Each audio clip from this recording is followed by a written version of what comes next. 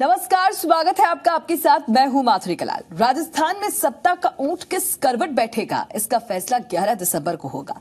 लिहाजा राजस्थान गौरव संकल्प पत्र के नाम से बीजेपी ने घोषणा पत्र जारी कर दिया है। इस घोषणा पत्र में कई बड़े वायदे हैं, लेकिन बीजेपी के घोषणा पत्र में एक वादा ऐसा है, जो दूसरी पार्टियों से एकदम इतर है। ये वायदा है, अगर बीजेपी सत्ता में लौटी तो गोरख धंधा शब्द का इस्तेमाल को अपराध बना दिया जाएगा। बीजेपी का मानना है कि गोरख धंधा शब्द नाथ पंथ के गुरु गोरखनाथ को अपमानित करने वाला है।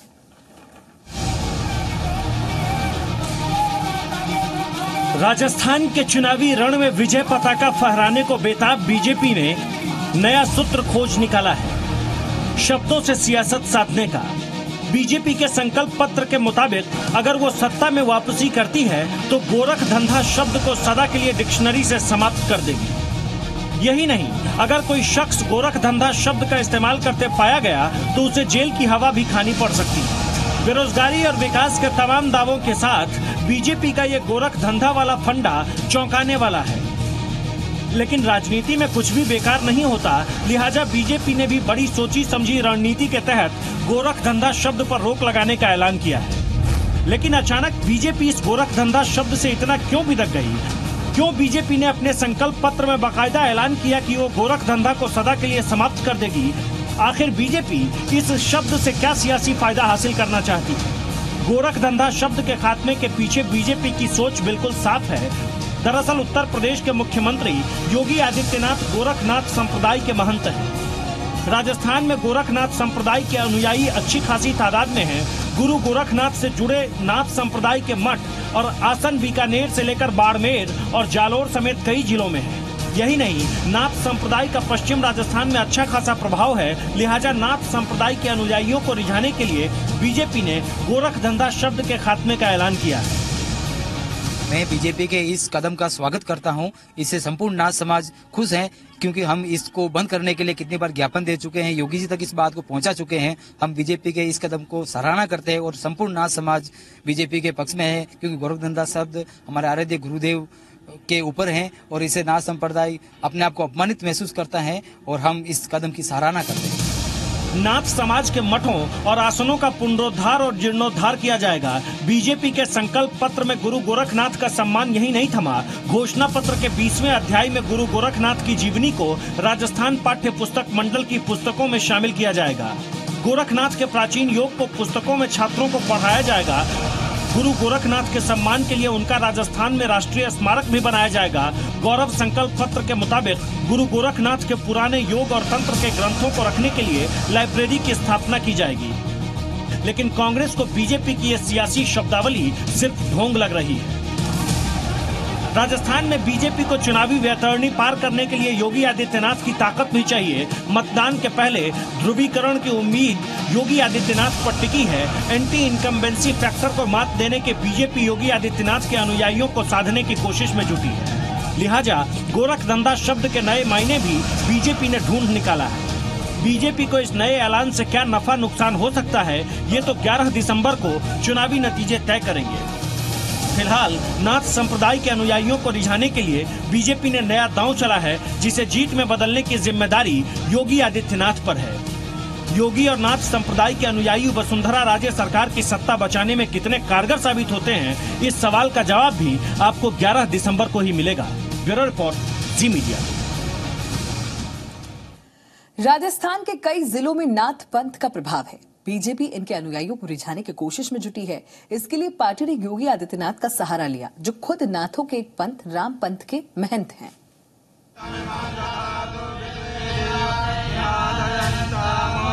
सदियों से नाथ संप्रदाय लोगों को समता का संदेश दे रहे हैं। उत्तर प्रदेश के गोरखपुर से लेकर राजस्थान और मध्य प्रदेश तक नाथ संप्रदाय की शाखाएँ फैली है। ये कोई अनहोनी नहीं कि गोरखनाथ के साथ गोरख धंधा शब्द जुड़ गया। सालों से इस शब्द को नाथ संप्रदाय के अनुयायी खत्म करने की मांग करते रहे हैं। लेकिन बीजेपी के संकल्प पत्र में अब जाकर इसे जगह मिली है। वजह भी साफ़ है, योगी आदित्यनाथ का सियासी असर, जो राजस्थान के चुनावी रण में भी बीजेपी के काम आ रही है। नाथ संप्रदाय के राजनीतिक प्रभाव की बात करें तो राजस्थान की बड़ी आबादी पर नाथ संप्रदाय का प्रभाव है। राजस्थान में अभी नाथ संप्रदाय के 46 बड़े मठ हैं।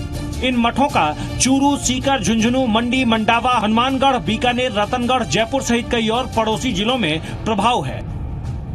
नाथ संप्रदाय का इन मठों में खास प्रभाव होने का कारण यह है कि यहाँ नाथ संप्रदाय ने सामाजिक कार्य भी किए हैं। तो बीजेपी अगर नाथ संप्रदाय के अनुयायियों को साधने की सोच रही है तो ये लाजिमी भी है, क्योंकि उसके पास नाथ संप्रदाय के महंत योगी आदित्यनाथ का चेहरा है। लिहाजा बीजेपी के संकल्प पत्र में गोरख धंधा को डिलीट करने वाली घोषणा वसुंधरा राजे सरकार का रक्षक भी साबित हो सकता है। बीजेपी को गोरख धंधा शब्द सिर्फ़ संत गोरखनाथ महाराज के अपमान का सूचक भर नहीं लग रहा। बीजेपी इस बहाने राजस्थान के पिछड़े वर्ग के वोट बैंक को भी साधना चाहती है। नाथ संप्रदाय के तहत आने वाले जोगी, नाथ और सिद्ध वर्ग राजस्थान में पिछड़े वर्ग के तहत आते हैं। ज़ाहिर है कि बीजेपी को इसका चुनावी फ़ायदा तो हो सकता है, लेकिन कितना होगा, ये फ़िलहाल तय नहीं है। जी मीडिया। अब राजस्थान विधानसभा चुनाव में बीजेपी क्यों है गुरु गोरखनाथ के भरोसे? ये तो आपने देख लिया। लेकिन बीजेपी ने आखिर वक्त में ही आकर ये गोरख धंधा कार्ड क्यों खेला, ये भी आपको जानना बेहद ज़रूरी है। देखिए इस रिपोर्ट में। सदियों से नाथ संप्रदाय लोगों को समता का संदेश दे रहे हैं। उत्तर प्रदेश के गोरखपुर से लेकर राजस्थान और मध्य प्रदेश तक नाथ संप्रदाय की शाखाएँ फैली है। ये कोई अनहोनी नहीं कि गोरखनाथ के साथ गोरख धंधा शब्द जुड़ गया। सालों से इस शब्द को नाथ संप्रदाय के अनुयायी खत्म करने की मांग करते रहे हैं। लेकिन बीजेपी के संकल्प पत्र में अब जाकर इसे जगह मिली है। वजह भी साफ़ है, योगी आदित्यनाथ का सियासी असर। जो राजस्थान के चुनावी रण में भी बीजेपी के काम आ रही है। नाथ संप्रदाय के राजनीतिक प्रभाव की बात करें तो राजस्थान की बड़ी आबादी पर नाथ संप्रदाय का प्रभाव है। राजस्थान में अभी नाथ संप्रदाय के 46 बड़े मठ हैं। इन मठों का चूरू, सीकर, झुंझुनू, मंडी, मंडावा, हनुमानगढ़, बीकानेर, रतनगढ़, जयपुर सहित कई और पड़ोसी जिलों में प्रभाव है।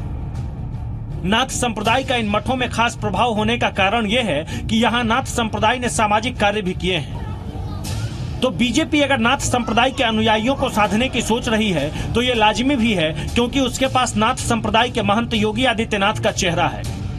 लिहाजा बीजेपी के संकल्प पत्र में गोरख धंधा को डिलीट करने वाली घोषणा वसुंधरा राजे सरकार का रक्षक भी साबित हो सकता है। और महाराणा प्रताप के त्याग और बलिदान की इस भूमि में यद्यपि देश के अंदर हर स्वाभिमानी व्यक्ति, हर स्वाभिमानी नागरिक महाराणा प्रताप के नाम पर संस्थाओं का नामकरण करता है। ये बताने की शायद ही ज़रूरत हो कि उत्तर प्रदेश के मुख्यमंत्री योगी आदित्यनाथ ने राजस्थान के गौरव महाराणा प्रताप का चुनावी भाषण में नाम क्यों लिया? दरअसल योगी आदित्यनाथ ने महाराणा प्रताप के गौरव के साथ नाथ संप्रदाय को जोड़ दिया, यानी राजस्थान के गौरव के साथ नाथ संप्रदाय का अनोखा मेल। और महाराणा प्रताप के त्याग और बलिदान की इस भूमि में यद्यपि देश के अंदर हर स्वाभिमानी व्यक्ति, हर स्वाभिमानी नागरिक महाराणा प्रताप के नाम पर संस्थाओं का नामकरण करता है। लेकिन भारत की संन्यास की परंपरा में ये बहुत कम देखने को मिलता होगा। लेकिन अगर आप गोरखपुर जाएँगे तो गोरखपुर में अरे गोपसा नीचे बैठो यार। गोरख पीठ के द्वारा संचालित संस्थाएँ महाराणा प्रताप के नाम पर ही संचालित होती हैं और भारत माता के महान सपूत के प्रति कहीं वसुंधरा राजे सरकार राजस्थान में पाँच साल में सरकार बदलने की रवायत का शिकार न हो जाए, लिहाजा बीजेपी की पूरी तैयारी है। एक तरफ़ प्रधानमंत्री नरेंद्र मोदी राजस्थान के रण में हुंकार भर रहे हैं तो दूसरी ओर योगी आदित्यनाथ तूफानी दौरा कर रहे हैं। विकास और धर्म का ये कॉकटेल राजस्थान की जनता को कितना पसंद आ रहा है, ये प्रधानमंत्री मोदी और योगी आदित्यनाथ की सभाओं में उमड़ी भीड़ से समझा जा सकता है। राजस्थान में बीजेपी ने योगी आदित्यनाथ की ताकत का फ़ायदा उठाने के लिए अब गोरख धंधा शब्द को कतरने की घोषणा की है। योगी आदित्यनाथ की सभाएँ राजस्थान के मुस्लिम बहुल और नाथ संप्रदाय के असर वाले इलाकों में कराई जा रही है। योगी आदित्यनाथ भी चुनाव को धर्म और राष्ट्रवाद के एजेंडे से जोड़कर सत्ता विरोधी लहर को हिंदू राष्ट्रवाद में बहाना चाहते हैं। संकल्प पत्र में नाथ संप्रदाय को तवज्जो का एक मकसद ये भी है। दरअसल, बीजेपी के घोषणा पत्र पर योगी आदित्यनाथ की परछाई दिख रही है गोरख धंधा पर पाबंदी लगाने की मंशा के पीछे भी बड़ा कारण उत्तर प्रदेश के मुख्यमंत्री योगी आदित्यनाथ ही हैं। हालाँकि राजस्थान की राजनीति में नाथ संप्रदाय का वोट निर्णायक नहीं होगा, लेकिन बीजेपी ने योगी आदित्यनाथ और उनके नाथ संप्रदाय को तवज्जो देकर साबित करने की कोशिश की कि वो अकेले हैं, जो नाथ संप्रदाय के अनुयायियों का ख्याल रखती है बीजेपी धार्मिक चिन्हों, मठों और मंदिरों का सियासी समर में इस्तेमाल करती रही है। राजस्थान के घोषणा पत्र में अब की बार भी वो साफ़ दिख रहा है। बीजेपी के संकल्प पत्र में नामी मंदिरों और मठों को लुभाने की भी कोशिश की गई है। महंतों की लंबे समय से की जा रही मांग को संकल्प पत्र में शामिल किया गया है। मंदिरों की देखभाल और पूजा के लिए मंदिर की ज़मीन का 40 फ़ीसदी भाग के व्यावसायिक उपयोग की छूट देने का वादा संकल्प पत्र में गौ तस्करी रोकने के लिए गौ रक्षा चौकियों की संख्या बढ़ाने, हर ज़िले में गौशाला खोलने और गौ अभ्यारण्य बनाने का भी ज़िक्र किया गया है। ये तवज्जो बताता है कि योगी आदित्यनाथ राजस्थान में बीजेपी के स्टार प्रचारक बन गए हैं। इसके पहले छत्तीसगढ़ विधानसभा चुनाव में योगी अपनी सियासी महिमा का प्रताप दिखा चुके हैं। अपने चुनावी भाषणों से भीड़ को खींचने में कामयाब भी दिखे हैं। लिहाजा, बीजेपी अगर योगी आदित्यनाथ के भाषणों और उनके गोरखनाथ महाराज की महिमा के भरोसे चुनावी नैया पार लगाना चाहती है तो इसमें तवज्जो वाली कोई बात दिखती नहीं। उत्तर प्रदेश के मुख्यमंत्री बनने तक योगी आदित्यनाथ सिर्फ़ गोरखपुर से सांसद हुआ करते थे, लेकिन दूसरे राज्यों में उनके लिए तब भी चुनावी मंच सजाए जाते थे। योगी आदित्यनाथ और नाथ संप्रदाय दोनों वसुंधरा राजे सरकार को बचाने में कामयाब होते हैं या नहीं, इसकी तारीख तय है 11 दिसंबर। लेकिन कांग्रेस को बीजेपी के इस नए सियासी शब्दावली से सर्दी में भी पसीने आ रहे हैं। बीजेपी चुनावी वैतरणी में गोरख धंधा को खत्म करने के ऐलान से क्या हासिल करेगी, ये सिर्फ़ ऐलान के दम पर नहीं बताया जा सकता। इंतज़ार है दिसंबर की सात तारीख का, जब जनता जनार्दन बूथ पर पहुंचेगी। Bureau report, Zee media. Gorakh धंधा शब्द कभी भले ही युद्ध में छोटी सेना के साथ बड़ी जीत के लिए इस्तेमाल किया गया हो, लेकिन अब ये शब्द धोखे का प्रतीक है। नाथ पंथ के अनुयायी अगर इस शब्द का अंत चाहते हैं तो उन्हें इसका अधिकार है। अब बीजेपी इसका अंत करने के वायदे के साथ साथ पंथ के अनुयायियों का वोट चाहती है। क्या नाथ लगाएँगे? राजस्थान में बीजेपी की नैया पार, ये ज़रूर देखने वाली बात है। बोलचाल की भाषा में कई बार गलत काम या हेरफेर के लिए गोरख धंधा शब्द का इस्तेमाल कर लिया जाता है, लेकिन नाथ संप्रदाय के लोग इस पर ऐतराज जताते रहे हैं। भाषा के जानकारों का मानना है कि ये शब्द गुरु गोरक्षनाथ से निकला है। दरअसल गोरक्षनाथ गायों की रक्षा करते थे, लेकिन उनके नाम से होता हुआ ये शब्द अपभ्रंश रूप में गोरख धंधा बन गया और कई बार इसे गलत अर्थ में भी इस्तेमाल किया जाने लगा। ऐसा माना जाता है कि एक समय गोरख धंधा शब्द का प्रयोग ऐसे मामलों में भी होता था, जब कोई शख्स किसी तरह का अविश्वसनीय आश्चर्यजनक काम कर देता था। कई लोगों की मान्यता है कि गुरु गोरक्षनाथ के शिष्य हठ योग वाले होते हैं और कई बार अघोरी प्रवृत्ति के काम भी कर जाते हैं। लेकिन इतिहास और साहित्य के पन्नों पर नाथ संप्रदाय की कहानियाँ बिखरी पड़ी है। सहजता से जीवन जीने और जाति बिरादरी की दीवारें तोड़कर समाज बनाने के लिए नाथ संप्रदाय हमेशा सजग रहा है। नाथ संप्रदाय के संस्थापक मत्स्येंद्र नाथ गोरखनाथ के गुरु माने जाते हैं। गोरखनाथ ने इस संप्रदाय के बिखराव और इस संप्रदाय की योग विद्याओं को जोड़ा। नाथ संप्रदाय सदियों से हिंदू धर्म का हिस्सा रहा है। उत्तर प्रदेश, मध्य प्रदेश, राजस्थान में नाथ संप्रदाय के लोग ज़्यादा संख्या में रहते हैं। नाथ संप्रदाय के साढ़े बत्तीस पंथ हैं। बत्तीस पंथ पूर्ण माने जाते हैं, जबकि आधा पंथ किन्नरों का माना गया है। नाथ संप्रदाय में नाथ, योगीनाथ, उपाध्याय, चट्टोपाध्याय, जंगम योगी गोस्वामी, गोसावी प्रमुख हैं। इसके मूल प्रवर्तक हनुमान जी माने जाते हैं। नाथ संप्रदाय के अनुयायी मुख्यतः बारह शाखाओं में विभक्त हैं, जिसे बारह पंथ कहते हैं। इन बारह पंथों के कारण नाथ संप्रदाय को बारह पंथी जोगी भी कहा जाता है। प्रत्येक पंथ का एक एक विशेष स्थान है, जिसे नाथ लोग अपना पुण्य क्षेत्र मानते हैं। प्रत्येक पंथ एक पौराणिक देवता या सिद्ध योगी को अपना आदि प्रवर्तक मानता है। यही वजह है कि राजस्थान में चुनाव प्रचार कर रहे योगी आदित्यनाथ हनुमान को अनुसूचित जाति और वनवासियों से जोड़ने की सियासत करते हैं। भारतीय परंपरा में एक ऐसे लोग देवता हैं, जो स्वयं वनवासी हैं गिरवासी हैं। दलित हैं, वंचित हैं, सबको लेकर के सभी पूरे भारतीय समुदाय को उत्तर से लेकर दक्षिण तक, पूरब से पश्चिम तक, सबको जोड़ने का कार्य बजरंग बली करते हैं। और इसलिए बजरंग बली का संकल्प होना चाहिए। योगी आदित्यनाथ के साथ सुविधा है कि उनकी पहचान एक धार्मिक महंत की है। वो जहाँ जाते हैं, वहाँ उनकी पहचान उनके साथ जाती है। लिहाजा किसी भी जगह योगी और नाथ से जुड़े लोगों का कनेक्शन अपने आप स्थापित हो जाता है। लेकिन बड़ा सवाल है कि क्या योगी की ताकत राजस्थान के रण में वसुंधरा राजे सरकार की नैया पार लगा पाएगी?